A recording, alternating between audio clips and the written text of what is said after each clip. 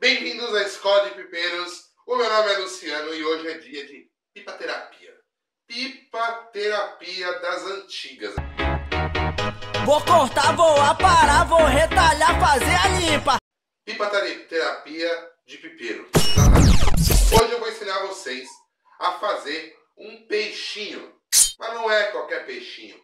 É um peixinho supersônico. Um peixinho muito rápido, um peixinho da hora. E detalhe, um peixinho feito com sacolinha, com plástico, com durex e mais nada. Somente isso, mais nada. O mais simples possível que você tiver disponível na sua mão, você vai conseguir fazer um peixinho top, um peixinho zica, igualzinho esse daqui, ó. Ó, eu fiz esse aqui hoje para testar, para ver se ia ficar legal, para mostrar para vocês o esquema certinho da colagem, tudo bonitinho. Botei no alto, por incrível que pareça, esse peixinho está com quase 5 metros de rabiola, uma fitinha bem fininha, ó, cabelinho de anjo, bem fininha, então eu vou ensinar vocês a fazer hoje de sacolinha, certo? Sacolinha, simples, qualquer pessoa pode fazer, você pode fazer na sua casa, você pode fazer na rua, você pode fazer em qualquer lugar. Só tem uma regra, só tem uma regra nessa história. Minha mãe me ensinou o seguinte: um pipeiro nunca sai de casa sem um rolinho de durex no bolso.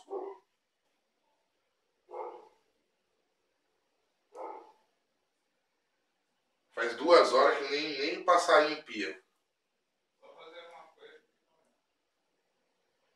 Minha mãe me ensinou o seguinte, que um pipeiro nunca sai de casa sem um rolinho de durex. Exatamente, um rolinho de durex.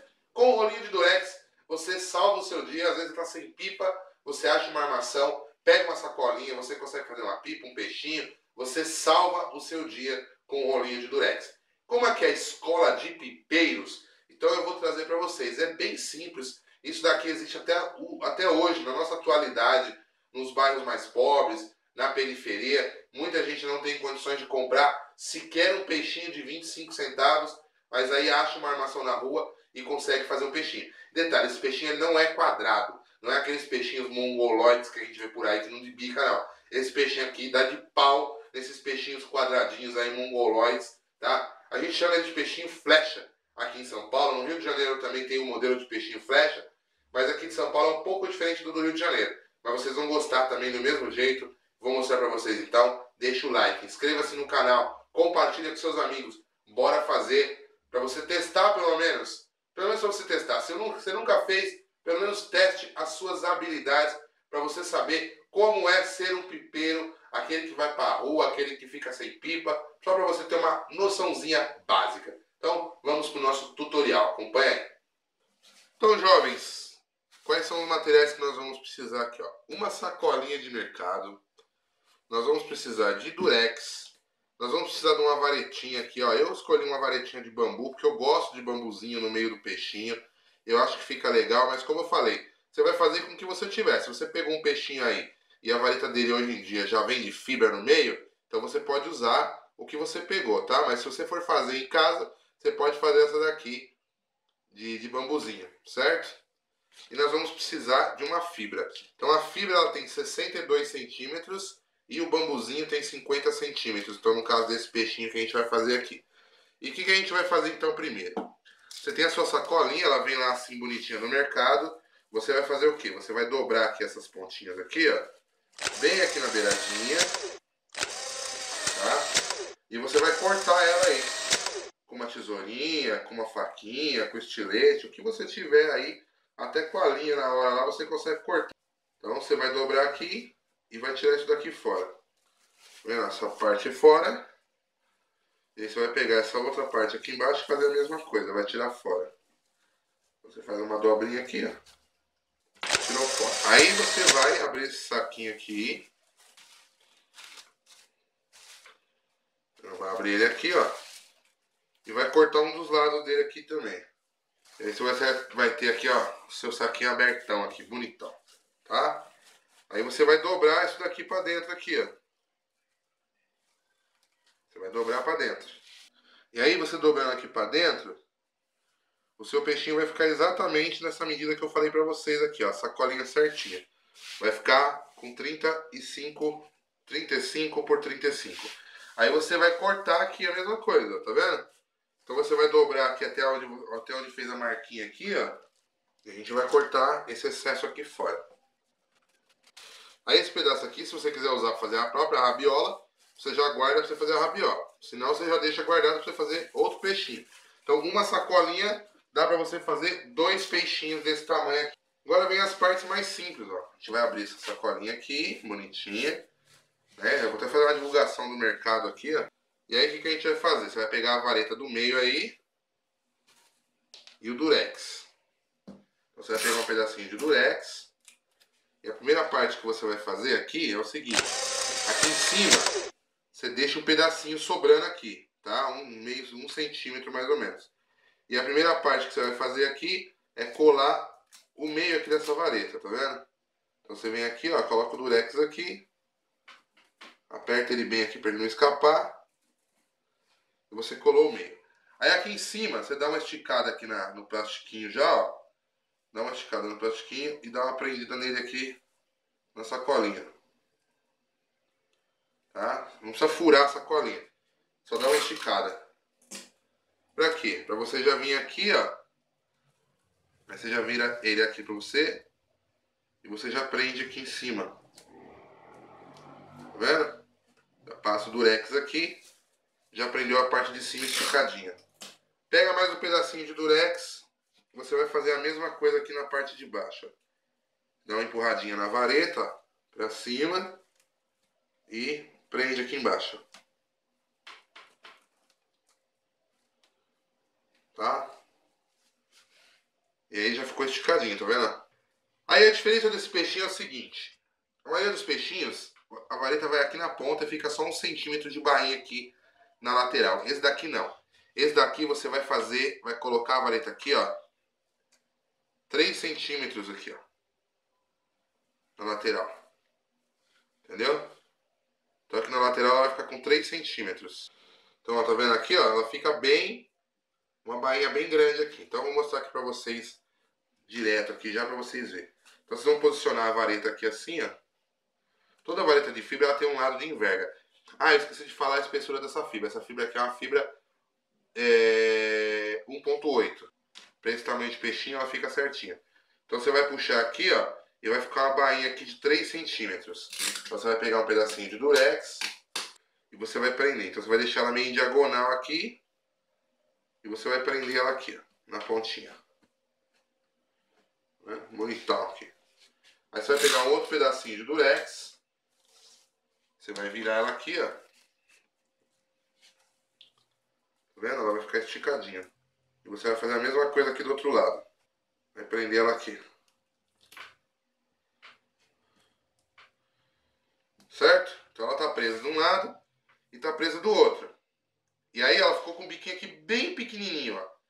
Tá? E ela ficou bem, bem abertona aqui. Então o que, que a gente vai fazer agora? A gente tem que fazer aqui a bainha lateral dela. Então você pega aqui o a bainha aqui, ó. Você vai dobrar aqui a bainha para dentro. Vai pegar o durex aqui, ó, e vai colar aqui, ó. De um lado e do outro, ó.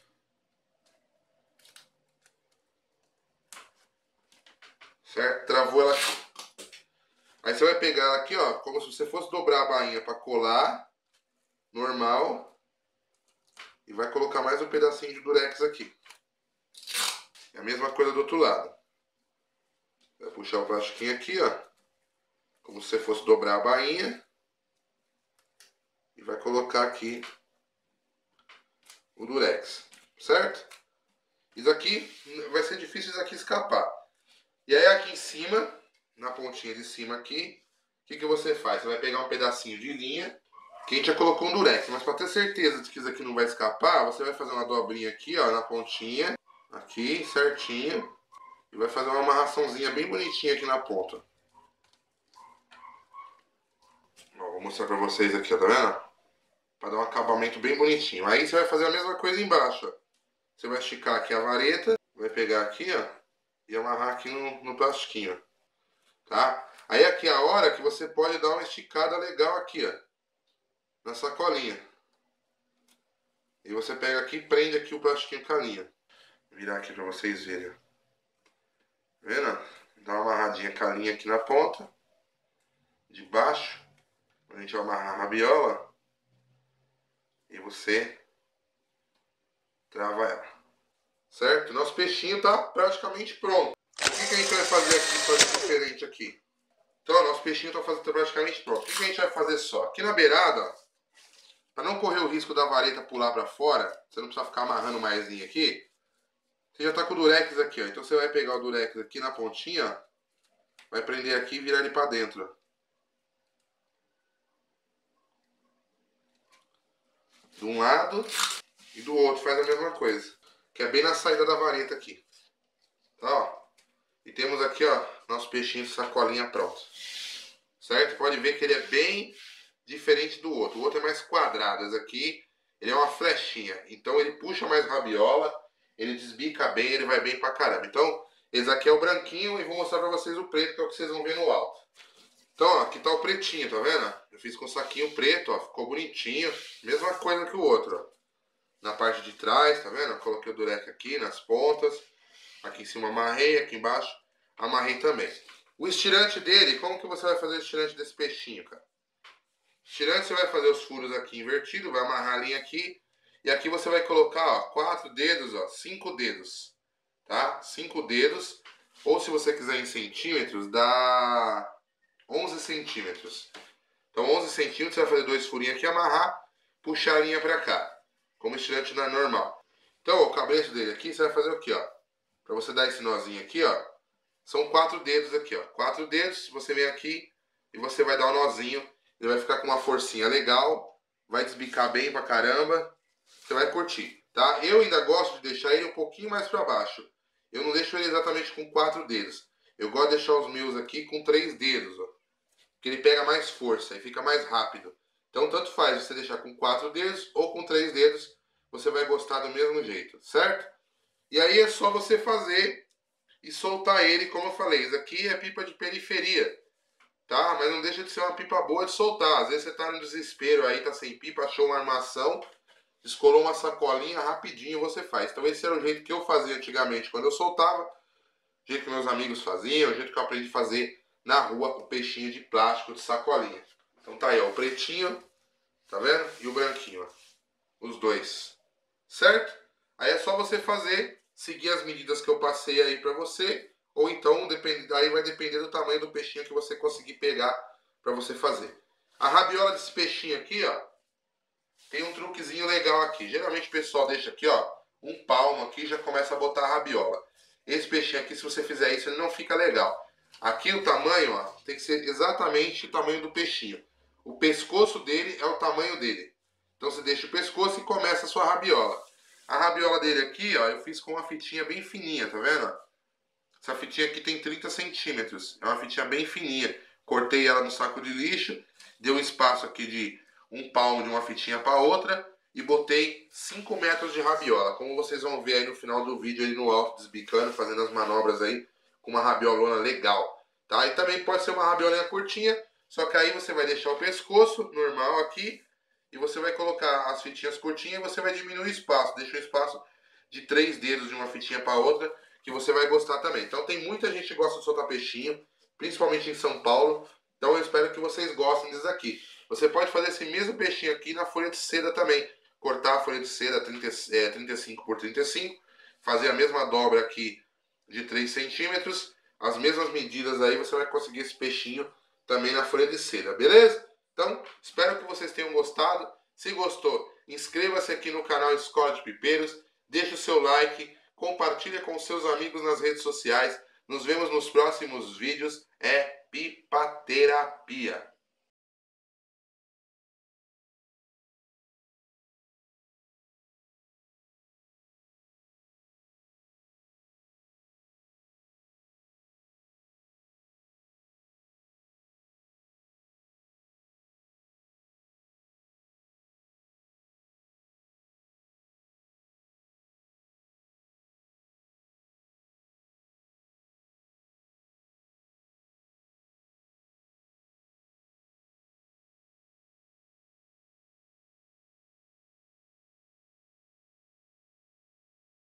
Continue assistindo os vídeos da Escola de Pipeiros. Aqui do lado é só você clicar para continuar assistindo os vídeos na nossa página. Seja muito bem-vindo, inscreva-se em nosso canal e deixe o seu like para fortalecer a nossa arte da pipa. Tamo junto, nos vemos nos próximos. É Pipa Terapia.